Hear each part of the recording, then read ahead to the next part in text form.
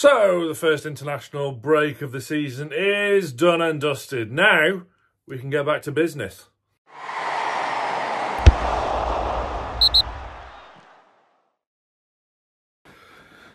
Team, welcome back to Newcastle Fans TV. As always, hit the like button, subscribe, join, become a member, give yourself a high five, and all that stuff. Proper football is back this weekend, but there was some positives to the international break.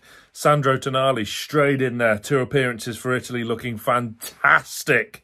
Cannot wait to see him back at full throttle in a Newcastle United shirt. Does he start on Sunday?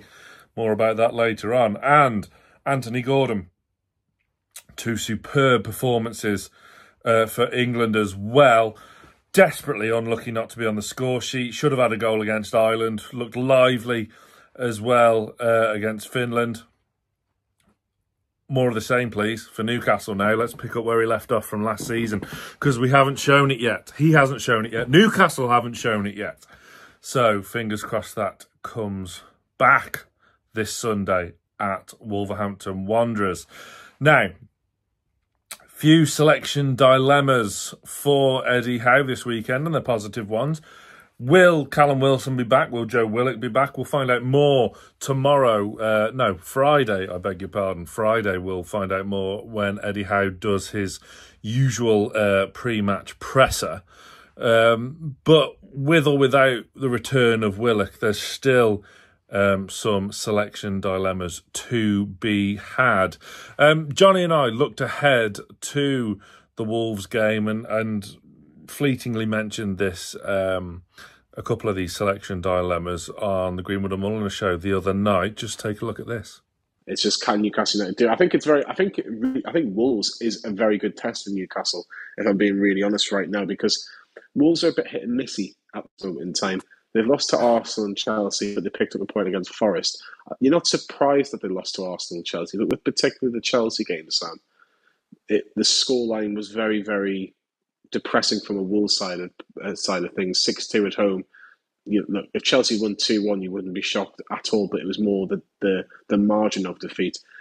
Is this a potential banana skin for Newcastle, or do you think they can go to Wolves and you know actually really express themselves? Um, well, like you said, it's a good test for us, but it shouldn't be. It should be a game where we're going there full of confidence and getting the win, no bother, 2 0, jobs are good, and move on. But you're right, it is a good test. Um, and that's a minor concern. The, the starting 11 will be so, so interesting. I, I would expect Howe to start Longstaff instead of Tonali. Um, great to see Tonali getting match fitness to Italy. I think that would help a treat. Pleased for him that he's straight back in the uh, Azzurri fold and that he's he's back in the starting eleven. Um, Spalletti knows what Tonali's about and he's he's fully appreciative that, like he said himself, he's got one of his best players back. Um, Did that surprise you actually that he just got straight back into that starting eleven straight away? No. So can he do the Not same for all. Newcastle? Howe's more captain cautious though with things like that, isn't he? He's he's more of one to, whilst the team is winning or isn't losing or whatever, he will keep you there until like you have the shirt, and we, we've seen it so many times, haven't we? You've got the shirt until, you know, you've you've warranted to lose it. Um, but yeah, it'll be an interesting game, and it'll be very interesting um, on a number of key points, really.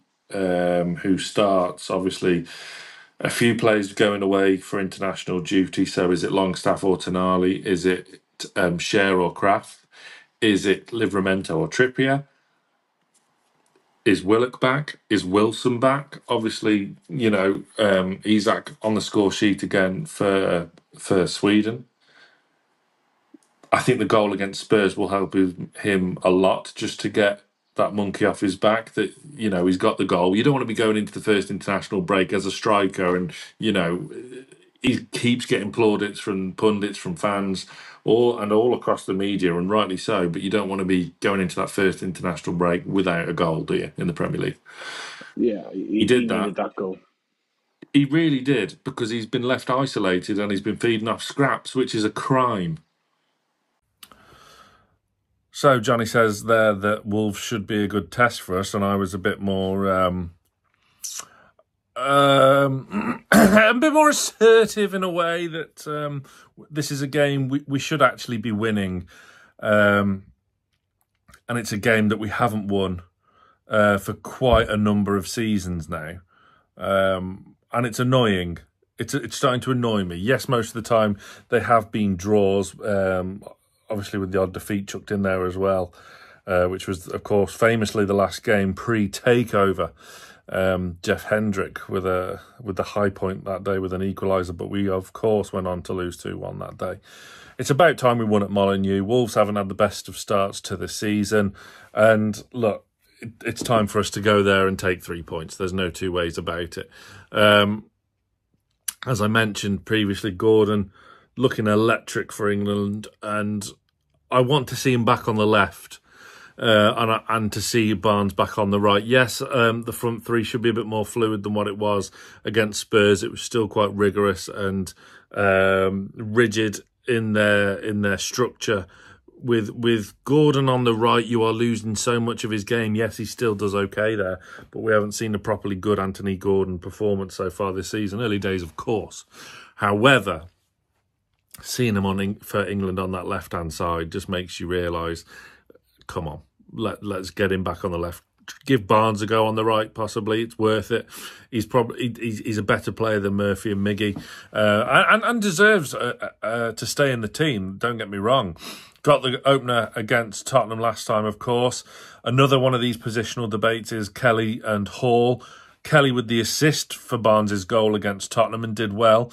Hall, bit more of an attacking um, fullback though, isn't he? And you know, do you want to get at Wolves? Do you really want to go there on the front foot and, and try and assert and dominate, which um, we haven't done with any of our opponents really yet this season, have we? Um, so maybe Hall could be an option. Kelly hasn't done anything really wrong though so far. So where do you stand on that debate? Get in the comments for all of these selection dilemmas. Really, for that there are more than one. Uh, another one is on the opposite flank. Trippier, who's who will be staying at Newcastle. Um, the the Newcastle hierarchy hierarchy speak English. The Newcastle hierarchy reportedly um, turning down loan offers from up to four Turkish sides over the past couple of weeks. That was according to Sky Sports News earlier this week. Um, you would think Livramento, who obviously was called up to the England squad, bit unfortunate that he didn't get on to make his debut, which is a bit of a shame. Um, but he'll come back surely, um, buzzing for the experience, and you know, be, his time will come. He will definitely get that England cap. You know, so long as he stays injury free. Very good against Tottenham. Um, so I would expect him to continue at right back. It, is it now time we we do just come out and say he is Newcastle United's first choice right back? You have to, I suppose, and and Trippier is is the backup, but still a huge voice in the dressing room, still a massive presence around the club, and still very much needed as well. Don't forget that. It is too soon to be disposing of Kieran Trippier. He still has a big, big role to play this season. Another debate down that back line. Fabian Schär, back from suspension. Does he come in for Emil Krafth? I think so. Um, for all that Krafth has done very, very well when coming in to deputise for uh, Schär during the suspension, you're kind of losing that. Um, I mean, it's wrong to it's wrong to describe it as attacking flair when you're talking about centre back. But you you know what you kind of know what I mean with Fabian Schär because he's so adept at going forward and, and making stuff happen. Um, I thought we've lost that a little bit with Krafth and Burn both sort of out and out centre backs, not really wanting to be adventurous and going forward. And I think we've lost a bit of that with with with Schär suspension. So I'm expecting him to come back straight into the starting eleven despite Krafth being superb over the past three games. The other debate in midfield, of course, what permutation of the three do you go for? I'm expecting Joelinton, Bruno, and Longstaff to start. Will Tonali start? He started the previous two games for Italy, didn't he? Um, I think it'd be a bold choice from Eddie Howe, and I, I, I don't mind it, mate. Don't mind it at all. If if if we're there on Sunday and you know team news is out 75 minutes before kick-off and you see Tonali in that starting 11, you rub your hands together and go, let's have a bit of this. Come on, Sandro is back, baby. And uh, I wouldn't mind seeing it. But I'm expecting Longstaff um, to, to start on the right-hand side of that trio. But it's a difficult one all over the pitch, really, isn't it? And there's a lot of selection headaches. You know, despite um, no real transfer activity in the previous two windows now, Howe has selection dilemmas once again? People starting to come back from injury. Botman, according to to the press, is back in in December time, um, and you know Lascelles was probably a bit after that too. So there will be still a few more injuries uh, the squad have to cope with for a while yet, but there's a bit of squad depth and and to see Wilson on the bench, possibly potentially on Sunday, gives us real, real options and firepower uh, in the later stages of the game. It's a game we should be going there looking to win, and we have to be confident. It's about time we put down a marker and show a good performance and show a positive, convincing result. Let me know your thoughts in the comments regarding how selection dilemmas on Sunday. Like and subscribe, and stay tuned to Newcastle Fans TV.